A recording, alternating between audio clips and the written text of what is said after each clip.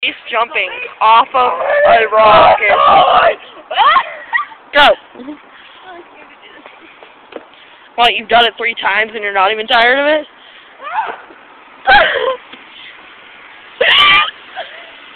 the little girl, at least the little girl watched you. I'm coming down. Like, like from here and to here, I can't feel. At least that's a good thing, okay?